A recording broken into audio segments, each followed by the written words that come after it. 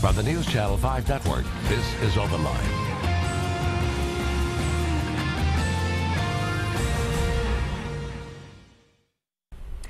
Welcome to Open Line. Happy Monday to you. We are talking about medical malpractice tonight. It is your chance to call in, ask questions of local attorney Clint Kelly. He's with us again from the Kelly firm. Clint, thank you for being here. Carrie, it's good to see you again. We had a great show a couple of weeks ago, and hopefully some more folks will call in tonight. Maybe it jogged their memory or made them think, gosh, you know, is this something I should have consulted an attorney on?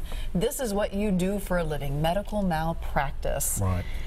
Kind of give me the rundown of what kind of things you deal with. It is, uh, well, first of all, it's a, it's a major medical mistake that causes a major injury. That's basically the, the, the shorthand answer to what I do. I see cases of all kinds. Uh, people who've had bad surgeries, have been misdiagnosed, uh, some patients who've been given wrong medications. Uh, but generally, I only take a case unless there's been a substantial catastrophic injury or death because juries are, are very conservative, and I think that's what they expect uh, before they're going to hold a hospital or doctor liable. And that might surprise some folks because we all think of the McDonald's verdict, you know, and think, oh, juries are just handing out millions right. of dollars. But you're saying that's not the case anymore. It is not. You know, it's uh, the McDonald's case now is about 25 years old. Which, it, it, that's it hard to a, believe. It, does, and and I think. Uh, nowadays, in particular, uh, juries are just very, very conservative about whether or not they're going to award money in, in lawsuits. Mm -hmm. And so it's a real struggle to win, and you have to be careful to take the right case, or else the jury will send you home packing. So what does that mean? You got to take the right case. How do you how do you determine that? Uh, typically, my analysis is I look at basically three different things. First of all, I look at is the injury catastrophic? Again, really, really bad. Is someone going to have long-term medical expenses, lost earning capacity, like they can't work anymore? Mm -hmm that's the first thing I look at. The next thing I look at is can I prove a definitive cause between the major mistake and the injury? Because if it's fuzzy, that makes it more difficult to prove my case. Sometimes the doctor or hospital say, well, we, we screwed up, but that's not really what caused your problem. Or perhaps uh, the injury was going to happen no matter what. We call those bad outcomes. Uh, and the third element I look at, obviously, is the conduct itself. How bad is it? Mm -hmm. Is it something that I can portray to the jury as a fairly straightforward and simple situation, or is it going to be really complex? And and in some cases, you know, the healthcare provider's conduct is much much worse than it would be in other cases. You know, particularly if you've got an impaired physician or impaired nurse. We'll talk about that later. Yeah. Or uh, where there's just been, and I see this quite a bit, where there's just from the healthcare provider standpoint, they just don't give the patient enough time and enough care. Is it more difficult these days? Because I, have seen that you know you have some of these doctors who are so narrow in their focus. So if somebody goes in for one thing, they may have five or six different doctors, and then you have a slew of nurses, and it's like, okay, well, who is responsible? Yeah, who's uh, who's the captain? Yeah, where, where does the buck stop?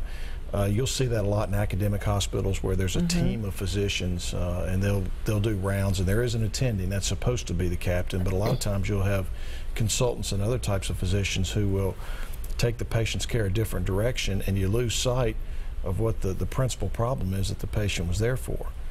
Um, and I, I find because of the limitations of time that doctors can spend with patients, they in some cases will seize on a particular diagnosis or problem and they just zero in like tunnel vision mm. Instead of stepping back and saying, okay, normally you have you have footprints in the snow that look like horse prints, but what if it's a zebra? They just sometimes they don't back out, look at the big picture, and then by the time they really do, it's too late. Yeah.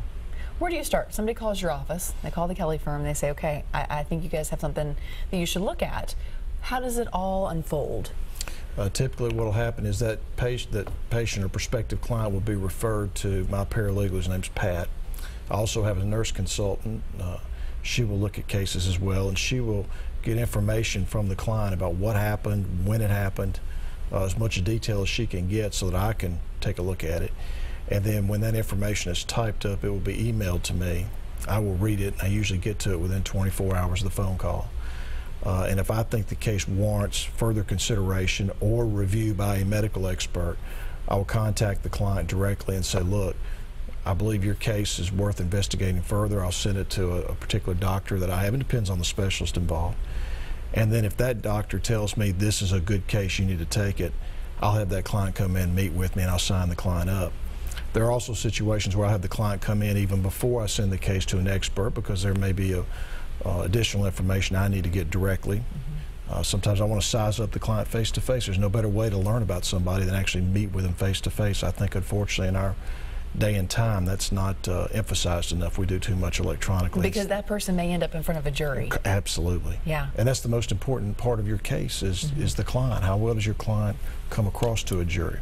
And it matters. It does matter. If you're going to invest your time into this case and your resources, because I'm not paying you up front to do this, right? Right, exactly. Then you've got to know there's there's the high likelihood of a favorable outcome, so everybody can can win. Exactly. The client pays nothing unless I recover for the client, and so it's very important to me when I invest thousands of dollars in a case that I make sure that I'm investing in a good case.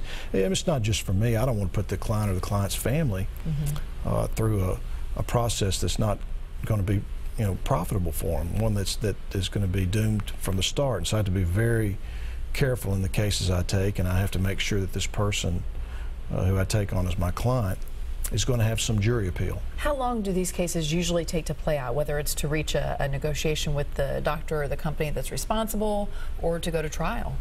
Typically, it's about 18 months to two years. Uh, what can hold things up, Carrie, is if you have an appeal. Obviously, that can drag things out a year. Uh, sometimes it has to go a little bit longer because the patient hasn't reached maximum medical improvement, uh, such as a paralysis case. But they move pretty, in, in Davidson County, they move pretty well. We have a good court system here in this county that uh, I think does a good job in managing cases and getting them disposed of as quickly as possible. Some people might say, God, 18 months, that seems like forever. Uh, you can go to California, you can't get a trial date for four years. Really? Yeah. Wow, especially when you're thinking about loss of income and, and just the stress that goes along It's with just devastating. We have a call, and that's what we encourage you to do tonight: is call in with your questions. Clint is here to ask them or and to answer them. Joanne is on the line. Joanne, thank you for being part of the show. What's your question tonight? Yes, I would like to talk to Mr. Kelly. Uh, I had talked to him on the Nick Barron show the other day. They were talking about my case. He said that he knew the doctor, that I did have a case, but Anyway, he said he couldn't do it because of conflict of interest. I cannot walk. I cannot walk at all. And I missed my doctor's appointment last month, but I have called lawyer after lawyer. I just want, if he could give me anybody that I could call that could take this case, Okay. because I can't walk. Okay, let me put you on hold. Listen to your TV because we're getting some feedback with the phone here. So I don't. I'm not going to hang up on you. Just listen to your TV so you get the rest of this answer. Yeah. Are you familiar with this? I, I am, and she has a, a case that may well be meritorious. Uh, The, the uh, chiropractor who treated her, uh, I, I know the family, and under rules of ethics, I'm not permitted to take a case like that. I would certainly uh, would not feel comfortable taking a case like that. The reason we have these rules is if something happened in the case and she didn't get compensated properly, she might say later on, "Look, you knew were this colluding with him." exactly, Yeah. or you knew this doctor, and so you went on soft on him." She needs somebody who has absolutely no relationship with the chiropractor to take her case. It was a, she fell down, or sat on a stool, and fell down and injured her back. Oh. But the, the answer to the question, Joanne, is the Nashville Bar Association has a lawyer referral service, and they can refer you to lawyers who'll take a look at the case. There's another unpleasant fact about it, though, which is some lawyers aren't going to take a case like that because they don't think her damages are bad enough. Um, it's i i our system, as it stands right now, Carrie, is set to compensate certain types of patients with certain types of injuries. And if you're in that middle area where you've got damages, but it doesn't seem like a large value case, some lawyers say, I'm just not going to mess with it. And that may be what's happening to Joanne. I don't know. But it's. so I'm- what do you do? Is there anything that I can do? Is just a patient who is hurting and who has been affected? sh- she needs to call the Nashville Bar Association to see if a, a referral can be made to another lawyer who might take the case. But if no one takes the case, you're out of luck. I mean, what is what should she do? Go to the legislature and try to change the laws. Right now, the How way our system is that, is very Yeah. low. Yeah. I mean, that's, that's that's the system we have. Until the law is changed, uh, people like her are probably going to have difficulty getting representation. And you can't go to like small claims court and say I've had to go to another doctor and and here are the medical bills for that. And, No, unless in her case, she might be able to prove what's called a premises liability case in that it may be the stool was defective.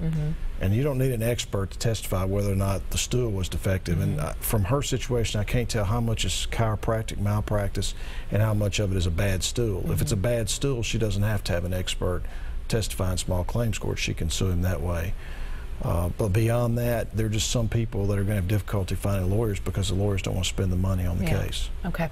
Okay, on that note, we're going to take a quick break. Lots to get to, though. We're going to also let you know how you can check out your doctor or the nurses that you see online before you ever even show up in the in the office. So stick around for that, and we're going to get to some more phone calls. So stay with us.